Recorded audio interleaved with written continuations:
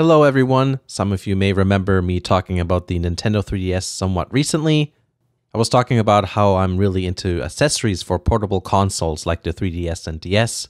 Turns out that I'm enjoying the Switch in a similar way. I think the appeal for me is the organizational aspect, as well as having that feeling that I can bring my Switch and all that I need with me whenever I want. At the same time, it's a home console as well, so it's cool to see that home console style accessories are available for it too. So today we'll take a look at some of my favorite accessories. This video isn't meant to cover any particular basis, it's just what I use, how I use them, and what I think of them. Hopefully it'll be like a helpful real-world example to give you some ideas of what sort of accessories you may or may not want to get yourself. The logical place to start with this kind of video might perhaps be cases, but I think the very first thing you should look at is expanding the Switch's storage space.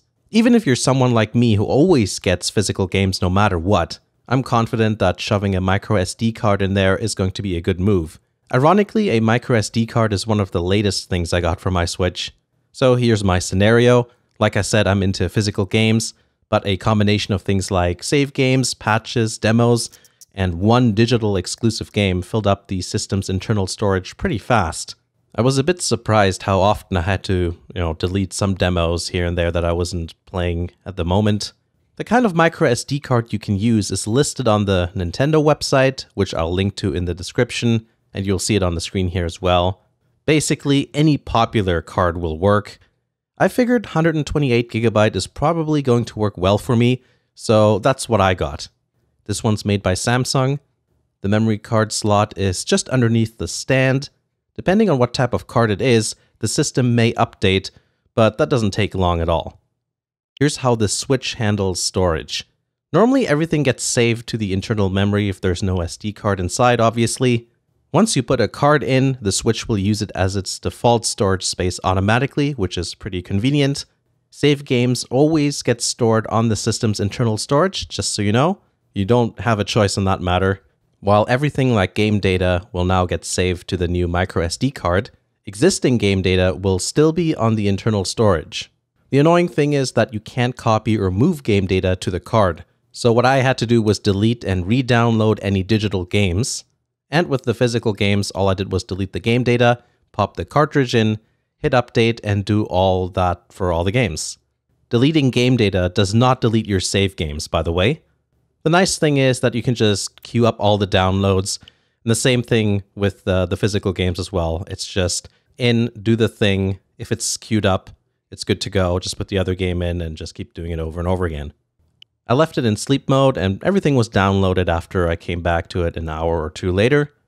If you have a lot of games, this might be a bit of an annoyance, which is why I suggest you expand your storage as soon as you can. You may also want to change the default save location for screenshots and videos to the SD card as well. That doesn't happen automatically. For any existing pictures or videos, thankfully here you can just copy that stuff over unlike the game data. With that out of the way, let's get to one of the most important accessories you can have, a hard shell case. They're affordable, hold the system and Joy-Con as well as games, and are small enough to fit into a backpack, or in my case, a messenger bag. There's so many options when it comes to hard shell cases. Some have extra space for more Joy-Con, cables, or adapters, but I like to keep it simple so I don't really need something with a lot of storage compartments. This one's from Best Buy's house brand, and it works well for me. It doesn't stand out visually, it holds the console securely, and fits as of right now my entire Switch game collection. The top pocket thing can probably hold a few more little bits, but admittedly, I'm not a fan of how loose it is.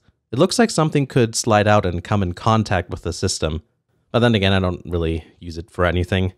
I don't have any experience with other cases, but I do know that there are a lot to choose from, and I am aware of a couple of models because I did a bit of research and then I figured, you know what, I'm just going to go over and drive over to Best Buy and just get a case instead of waiting a couple of days for you know for one to arrive from Amazon. Depending on what you fancy, Hestia might be Bestia. This case from Hestia has a zipper on the inside so the loose flap phenomenon doesn't occur, but it does use this net, which I don't like because something might poke at your Switch through it. Maybe that's not a problem, I don't know. But it's one of the most popular cases, so chances are it'll work for you. Another case that I was looking at as well, just because of how cool it looks, is this one here from tomtoc. It's an ultra slim case. It omits the overhead storage compartment and can hold fewer games than most, but it's so slim, and the design, in my opinion, just looks really nice. I almost got this one just because I thought it was so cool. If you really just want to carry everything with you, there's a bunch of options too. Nintendo has their own licensed product, which holds uh, the dock, and uh, of course, third party alternatives have that ability too. Nintendo even has a messenger bag that holds literally everything Switch related you can think of, but it has a giant Switch logo on it, and I don't really want to advertise to the world that I'm walking around with all my Switch paraphernalia. But all these look like good options if, for example, you gather with friends often and play Switch games together, and you need to carry your setup back and forth. Even though I don't have experience with these cases, I at least wanted to mention that they exist just because I know some people will probably find some good use for these. Apparently, Switch cases, all the way from small to big, seem to be an entire genre almost. It's a bit like how iPod cases were back in the 2000s. If you really want to dive into the topic, I think there's enough videos on YouTube going through all the different ones. That being said, um, I think I could make use of a big case as well just to keep everything organized, but at the moment I don't really need it. The small kind of cases are best for me. If my Switch isn't being used, it's either in the dock or in this case. I also think it holds enough games. Honestly, I can't even imagine a situation where I'd need more than 10 games with me. The point is that it holds a good selection of games I might want to play, so it doesn't need to hold everything I own. That said, game cases are still an attractive thing. I really take care of my game cases. In fact, leaving them in a shelf and putting the actual games into a case is something I will do once I run out of space. The 24 game card case from Hori looks like it'll work for me no problem. Once I have a need for one, this is what I'll get. And since it's officially licensed by Nintendo, I'm sure it's not going to be, you know, horrific or anything. Besides, the reviews look fine. Something I think is really good and pretty affordable is one of these stands. Mine is the official one by Hori, but it doesn't need to be. I know there's an Amazon Basics model that is basically the same, and a friend of mine has one from wish.com which seems to be comparable in terms of quality and you know has all the same features. You can lean it back at a you know at different angles and there's also a little cutout at the bottom so you can hook up a charging cable while it's on the stand. I use this thing all the time for some background YouTubeage when I'm recording something on my computer it's more secure than just propping the Switch up on its built-in stand. It also is usable with other electronics, as you can probably imagine, though a full-size tablet does feel like it's stressing the plastic components a bit more than is preferable. But phones are, of course, no problem unless you have one of those gigantic ones um, that look like you're holding a tray up to your face. Switch stands are cheap, very convenient, and compact to fold it up, so it's another one of those things you can easily throw into a bag, so yay. But let's just say you need more power. The Switch's runtime isn't cutting it and you need to recharge. I personally like the idea of these portable power banks. For some reason, I still find them a bit strange as a concept. You're charging a battery off of a battery, but they are useful, and the reason I got one is because I can use it with my other electronics too. Plus, for a lot of people, they might be a better option. Plus, one of these can also cut down on the amount of stuff you lug around because you don't need a separate car charger, you know, or whatever. Nintendo Switch charging is actually its own topic, and I recommend reading through the SwitchChargers.com website. Although chances are low, damage can arise due to dodgy USB C cables and things of that sort. Also, not all USB chargers have the ability to output enough to charge a Switch while it's in use. One that works is this one I got from RavPower, if that's how you pronounce the company's name. I'll show you a picture of the model number. Basically, it's a uh, 20,100 mAh capacity battery and it has USB C and Quick Charge 3.0. It has enough output to charge a Switch in handheld mode while playing games, and it can charge a totally empty console to full about three ish times, thereabouts. Something other people might not like is the size of it, though. It's not the smallest thing ever, and this definitely does not fit in my Switch case at all. But my only requirement in terms of size was for it to fit into my bag, which it does no problem.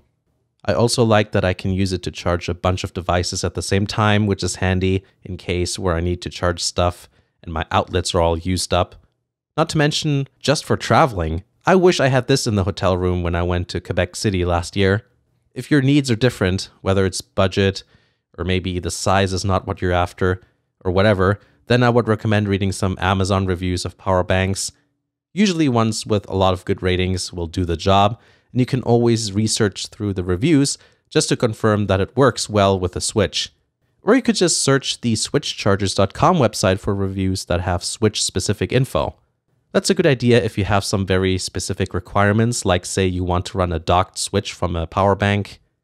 Lastly, it's headphones. The thing is that Bluetooth headphones aren't supported by the Switch, which may annoy some people, but that's fine with me. I always use wired headphones anyway. I actually use three pair of headphones. Some of you may know that I'm an audiophile, let's just use that term here. I use headphones that may not be in everyone's price range, so I'm not really sure if this helps people in terms of uh, recommendations, but here's what I use. For proper portable enjoyment, I think it's a good idea to find something that's really small not only blocks out sound, but doesn't leak out any either. I don't really want to annoy people around me. And perhaps that's a desire that other people should have as well. I've always used Shure in-ear monitors. I've used the E2C, E3C, SE uh, 2010, 2010, no, uh, 210, and uh, now the SE 215. These are great because they meet all my requirements and sound pretty decent. These sound slightly warm, mainly because of the rolled off treble. The cord is removable if they ever break, which is basically the best thing ever. I've always had cord breakage issues with earlier Shures, but ironically, these with their removable cable have lasted me since I bought them in 2012, and they see some heavy use when I'm doing stuff around the house and working on cars. My I have extra space in the bag portable headphones are these the Audio Technica ATH M50. This is the older model without the removable cable. They aren't really small, but they meet my other criteria and they sound better than the Shures. The sound signature is still slightly leaning towards, you know, fun rather than accurate. There's a bit of a, like a mid, like a bassy thing going on there. I also use them at home, and in fact, I've got them on my head right now. These are my voiceover monitoring headphones. For at home usage, if I don't use my speakers, I use these the Beyerdynamic T90. I got these from someone over at HeadFi many years ago. These are my best headphones and definitely not for outside usage. They're an open or semi open design, I can't quite remember. Soundstage is pretty big, and the sound is very detailed. I love how realistic the environmental sounds and Breath of the Wild sound with these, like the wind and how the foliage rustles. It's a very immersive experience. So yeah, these are the headphones I use. I purposefully left this uh, till last, like this category, because I don't think this part is all that helpful to people, but I still wanted to share what I use when it comes to headphones. I'm sure there are a few people out there who like higher end audio equipment, and if you're one of those people, then hi. Let me know what sort of headphones, speakers, amps, or whatever you're using. And also, some of you might be going, hey, what about charging grips? And also, you know, the uh, what's it called? The Pro controller. Well, first of all, everybody knows that those things exist, so it's like, why should I even mention it? And secondly, in terms of accessories, I don't think they're essential, or at least not for me in my case. I don't need to bring more than one controller with me. The battery life on the Joy-Con are so good. What are they like 20-ish hours? It's like I'll never drain those things when I'm out and about. Oot in a boot, my Canadian's coming through there. In the end, I think this covers my favorite Nintendo Switch accessories. There's links in the description of everything I talked about. For the most part, they're Amazon affiliate links. So if you like something from there and buy it, then it does support the channel. Also in the description is a link to switchchargers.com. I think that place is a great resource for chargers and the likes, so if you use that site, make sure to purchase stuff from their Amazon links so their hard work gets supported. Remember to like the video if you did. The second channel is going well right now with over a thousand subscribers. Check that out if you want some niche Japanese gaming news and other random gameplay videos. And lastly, patreon.com slash ysn is my Patreon page which you can check out if you want to support the channel. Thanks for watching and I'll see you again in the next video.